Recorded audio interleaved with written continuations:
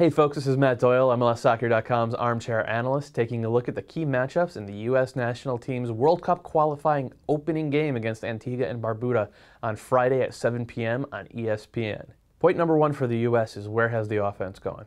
The last 180 minutes they've played, they got beat 4 1 by Brazil, did have 17 shots, only made one of them count, and then they had a really flaccid 90 minutes against Canada. The legs just weren't there, according to Jurgen Klinsmann, probably because of the two-a-day practices he held for the week and a half leading up to that game. Now the hope will be Klinsmann goes a little lighter on them ahead of World Cup qualifiers, and he should, because they need to have their legs back for a must-win game. Point number two is that for a CONCACAF minnow, we should expect an unusually organized Antigua and Barbuda side.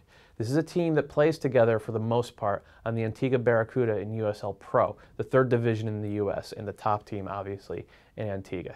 So they'll know each other, they'll trust each other, they've had plenty of practice working together, and they should know how to bunker and try to protect a nil-nil result, which would be good as gold to them on the road. Point number three for the U.S., then, is just making the talent differential count. These are guys who have been there before in the World Cup. They play in some of the top leagues in the world.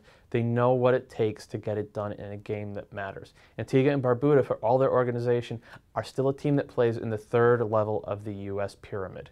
So this is a chance for guys like Clint Dempsey, Landon Donovan, Fabian Johnson, Michael Bradley, Jozy Altidore, all these guys who have done it before at the highest of levels. This is a chance for them to really run it up break the game open early, put them on the back foot, and crush their confidence in the first 15 minutes. If Antigua survives that, it could be a tough slog for the U.S. On the flip side, if they don't, we could see the U.S. run up the score as they've done on Caribbean sides in the past.